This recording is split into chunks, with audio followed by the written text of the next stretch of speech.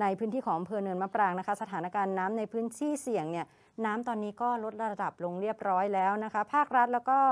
ภาคของคณะสงฆ์เนี่ยนะก็เร่งลงพื้นที่ไปเพื่อที่จะให้ความช่วยเหลือพี่น้องประชาชนค่ะ เมื่อวันที่ 23 กรกฎาคมที่ผ่านมาคุณผู้ชม ผู้สื่อข่าวได้รายงานว่าสถานการณ์น้ำในพื้นที่ตำบลวังโพรง แล้วก็ตำบลไซย้อยอำเภอเนินมะปรางจังหวัดพิษณุโลกนะคะ ก็ลดลงอย่างต่อเนื่อง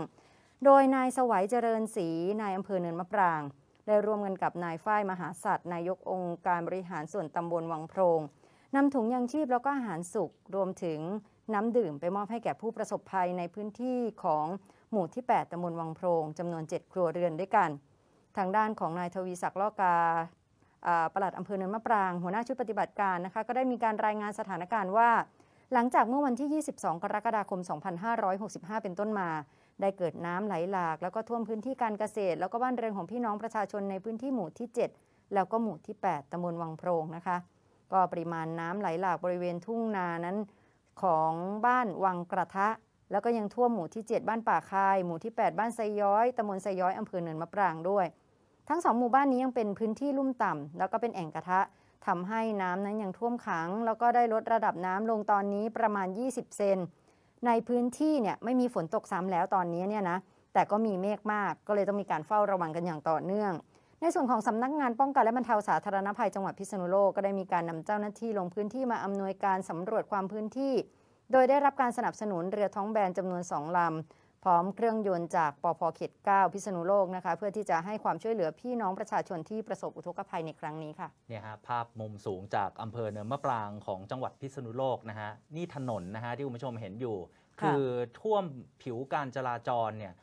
คือมองแทบไม่ทราบ แต่ว่าถ้าดูจากในภาพที่เราเห็นเนี่ยก็คือรถเล็กก็ยังพอสัญจรได้นะแต่ว่าค่ะต้องระมัดระวังเป็นพิเศษเลยเพราะว่าอย่างเนี้ย น้ำไหลเชี่ยว แล้วก็อาจจะเกิดอันตรายได้นะครับ เบื้องต้นนะฮะในพื้นที่ครับท่านในอำเภอเนินมะปรางคุณสวัยเจริญศรีนะฮะพร้อมด้วยคุณวีรศักดิ์ล่อกาปลัดอำเภอเนินมะปรางเขาไปร่วมมือกับคณะสงฆ์ของจังหวัดพิษณุโลกครับนำโดยพระครูสุพัฒกิจวิบูลย์หรือว่าหลวงพ่อขวัญเจ้าคณะอำเภอเนินมะปรางครับ แล้วก็ร่วมกับชาวบ้านในพื้นที่เนี่ยนะฮะทำข้าวกล่องนะฮะออกไปแจกจ่ายให้กับพี่น้องประชาชนที่ได้รับผลกระทบจากอุทกภัย ก็คาดว่าถ้าไม่มีปริมาณฝนตกลงมาเพิ่มอีกเนี่ยหนึ่งถึงสองวันนี้เนี่ยก็น่าจะกลับเข้าสู่ภาวะปกติได้เนี่ยฮะค่ะคณะจากทางในอำเภอ ท่านปลัดอำเภอ คณะสงฆ์ชาวบ้านที่เขาไม่ได้รับผลกระทบเนี่ยเขาก็ร่วมแรงร่วมใจกัน ไปส่งกำลังใจให้กับผู้ที่ กำลังประสบภัยอยู่แบบนี้อ่ามีการอุ้มคุณยายออกจากในพื้นที่เสี่ยงด้วยนะ ซึ่งก็เป็นผู้สูงอายุด้วย แล้วก็เป็นผู้ที่มีความพิการด้วยนะอืมอ่าอันนี้ก็ต้องดูแลกันในกลุ่ม 608 เนี่ยนะคะ ในพื้นที่ตรงนั้นคุณเจตครับนอกจากในพื้นที่ของอำเภอวังโป่งแล้วเนี่ย แล้วก็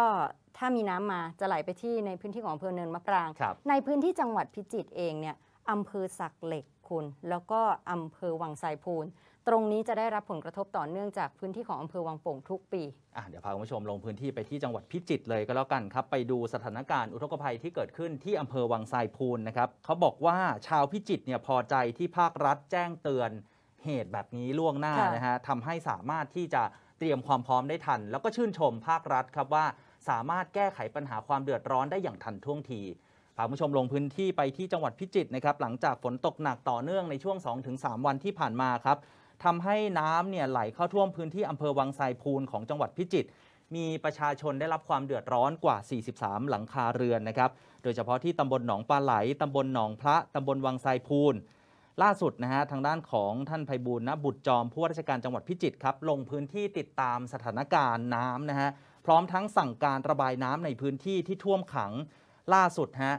วันนี้เองนะครับ ระดับน้ำในพื้นที่ของตำบลหนองปลาไหลที่อำเภอวังไซพูนเนี่ย เริ่มลดระดับลงแล้วค่ะานอกจากจะลดระดับลงแล้วนะคะพี่น้องประชาชนบอกว่าดีใจมาก ๆ ไม่ต้องไม่ใช่ว่าดีใจว่าน้ำมานะ แต่ครับสิ่งที่เขาดีใจคือทางด้านของหน่วยงานภาครัฐ มีการเตือนก่อน มีการบอกก่อนว่า น้ำจะมาแล้วนะเก็บของขึ้นแบบนี้เนี่ยนะคะทำให้ทางด้านของพี่น้องประชาชนเขาเตรียมรับมือได้ทันอืมนะแล้วก็ความเสียหายเนี่คยรับถ้าจะเกิดในพื้นที่เลือกสวนไร่นาเนี่ย มันป้องกันอะไรไม่ได้อยู่แล้วไงนี่ผู้สื่อข่าวรายงานมานะฮะว่าจริง ๆ ชาวบ้านในพื้นที่เนี่ยชื่นชมด้วยนะ ใช่ บอกว่ารู้สึกพอใจที่ภาครัฐเข้ามาช่วยเหลืออย่างเร่งด่วน ซึ่งก่อนหน้านี้ก่อนน้ำจะท่วมเนี่ยนะฮะค่ะชาวบ้านบอกว่าได้รับการแจ้งเตือนให้เตรียมความพร้อมก่อนน้ำจะมา ชาวบ้านในพื้นที่เขาก็ขนของขึ้นที่สูงกันหมดฮะอ่าอ่าอันนี้ชื่นชมนะค่ะน้ำท่วมนะ แต่ว่ายังมีเสียงชมอะ บอกว่าอ้าวก่อนท่วมภาครัฐหน่วยงานที่เกี่ยวข้องบอกประก่อชานสัมพันธ์เป็นก่อน จังหวัดนะฮะเครือข่ายอ่าประชาสัมพันธ์จังหวัดอะไรแบบเนี้ยก็ประชาสัมพันธ์ไปให้เตรียมความพร้อมเดี๋ยวน้ำจะมาแล้วนะ ค่ะ พอน้ำท่วมปุ๊บ การให้ความช่วยเหลือจากภาครัฐ เข้ามาได้อย่างทันท่วงที ค่ะ ถึงแม้ว่าบ้านเขาจะได้รับผลกระทบ แต่เขาบอกว่า เออ มันรู้สึกแบบรู้สึกดีอะที่ไม่ถูกทอดทิ้งให้เดียวดายได้ค่ะเตรียมความพร้อมก่อน